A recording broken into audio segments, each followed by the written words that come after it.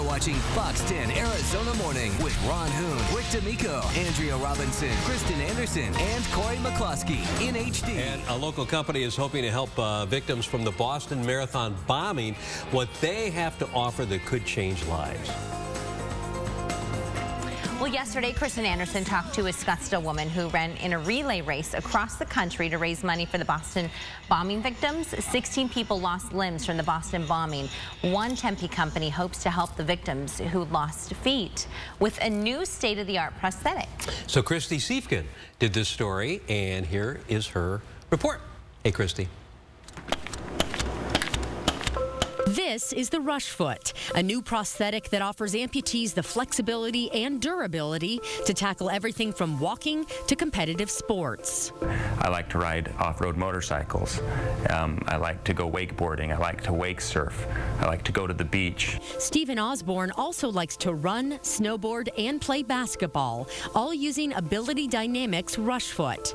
An amputee since age 14, Stephen spent many years wearing traditional prosthetics, which are made from heavy, inflexible carbon fiber. This is an example of a carbon foot, one that's been pretty popular over the past 20 years. And as we look in more closely, you'll notice the nuts and bolts in addition to a split up the middle of the foot. Now, in comparison, the Rush foot is a lot more streamlined, doesn't have any nuts or bolts, and as a result, is virtually indestructible. Ability Dynamics clinical manager Richard Sines admits he was a bit apprehensive to try the new foot when it hit the market a year ago. A congenital amputee, Richard's been wearing various prosthetics since he was about two and says he's broken almost every carbon foot. But he's yet to snap the Rush Foot's durable Flexion material.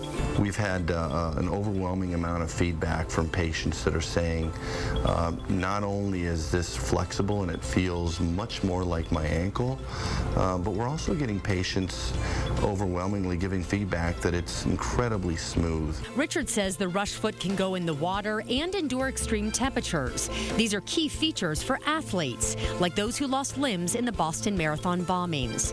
Just like those victims, Stephen lost his limb unexpectedly when he was run over by a boat on Saguaro Lake.